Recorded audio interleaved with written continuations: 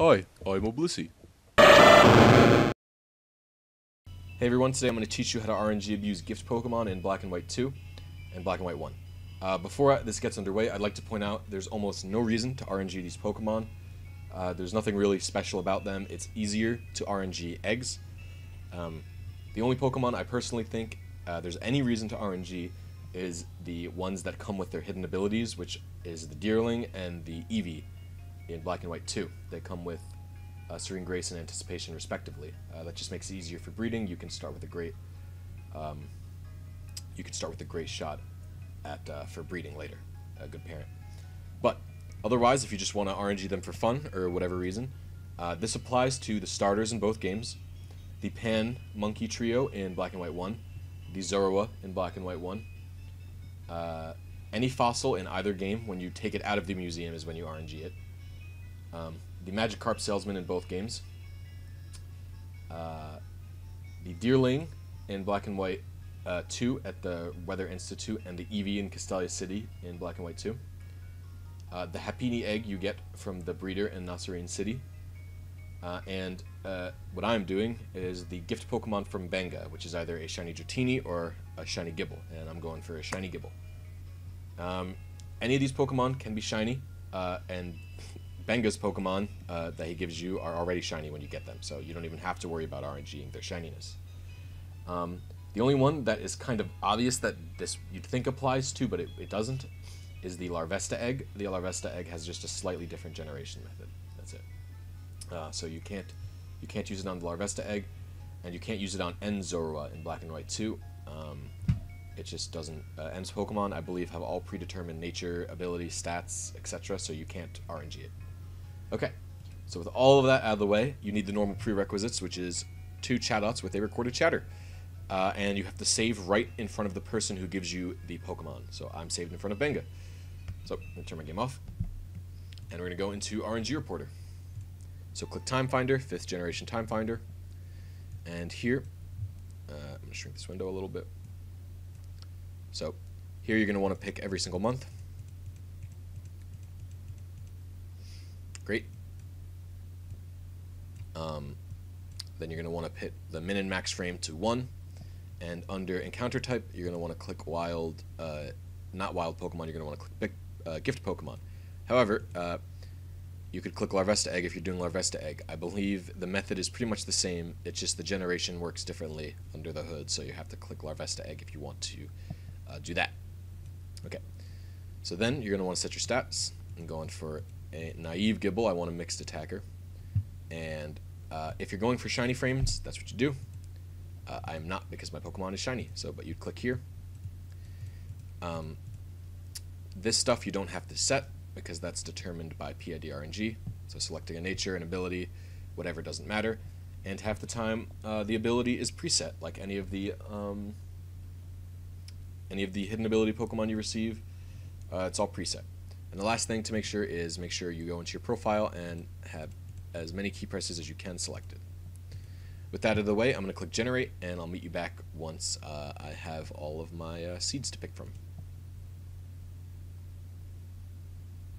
So I found a seed and uh, now we're just going to right click copy seed to clipboard. We're going to scroll down onto Gen 5 PID RNG then we're going to paste our seed here. You're going to want to click uh, the encounter type and click gift Pokemon or Larvesta egg if you're doing Larvesta egg. Then you want to check if it's black and white 1 or 2. So if it's black and white 2, you click this, and if you use memory link, you click this. Uh, if it's black and white 1 and you release your roamer, you check that off. Um, again, normally if you're going for a shiny, you need your secret ID and your ID, uh, but my shiny is like it's set, it's going to be shiny already, so I don't have to click that. Uh, and then you click Calculate Initial PID RNG Frame, and then you Generate.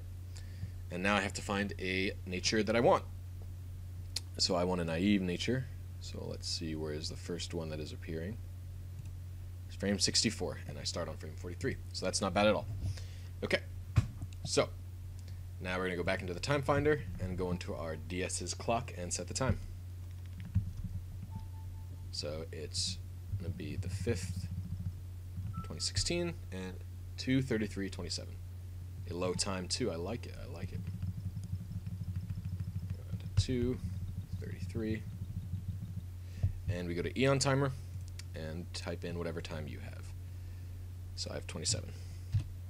Okay. So before I hit uh, my DS clock and Eon Timer at the same time, I want to explain something about the starter Pokemon real quick. Uh, obviously, you cannot have a Chatot at that point because you can't have any Pokemon and you can't even trade or whatever. Uh, the way you advance the PID frame without Chatot is by saving the game. So every single uh, frame here, so like like I said, I want frame 64, which means I have to get to frame 63. So that means I'd have to I'd start here and I would save every single uh, time, and I'd have no way to confirm if I hit the correct seed or not. Uh, in Black and White 1, it's not a big deal. You'll probably hit the correct uh, timer 0 in the seed. But in Black and White 2, you are going to fluctuate a bit. So it might take some trial and error. But I just want to explain without Chatots, that's how you advance the frame. And this pretty much only applies to the starter Pokemon. Uh, yeah, that's it. Um, okay. So with all that out of the way, we're going to want to start Eon Timer and our DS clock at the same time. And wait for Eon Timer to count us down. Um, now keep in mind in Black and White 2, you're probably going to miss your timer zero a few times. Uh, that's just the nature of the beast. So, yeah, uh, keep at it. Don't give up if you miss your timer zero a few times. It's not a big deal. Uh, I've even, when I was going for the Eevee in Castelia City, I must have missed it literally like 10 times in a row. So when Eon Timer finishes counting, uh, you start the game and hold any key presses you might have. I have to hold A and up, but if you don't have any key presses, uh, just don't touch anything until the Game Freak logo appears. Is that. And now we can start the game. And uh, do not use the uh, C gear when you boot your game up.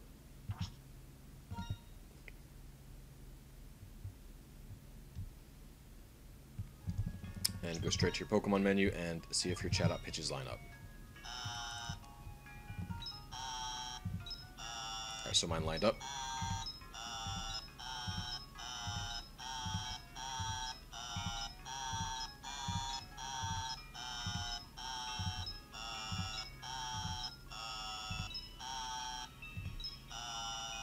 So you want to advance to the frame before the uh, nature you want. So uh, I'd want a naive nature, and I have to advance to frame 63 then. Uh, however, uh, I did this last time. I got it before. I advanced to frame 63, and when I received it, I got a lax nature.